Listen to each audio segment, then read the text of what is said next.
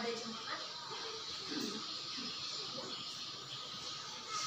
jemaat sambutlah saudara-saudara ini sebagai warga siri jemaat yang telah dewasa dan bertanggung jawab penuh dalam persekutuan dan pembangunan jemaat sebagai tubuh Kristus.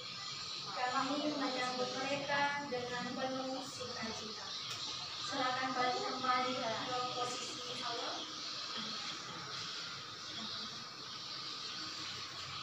वाला है।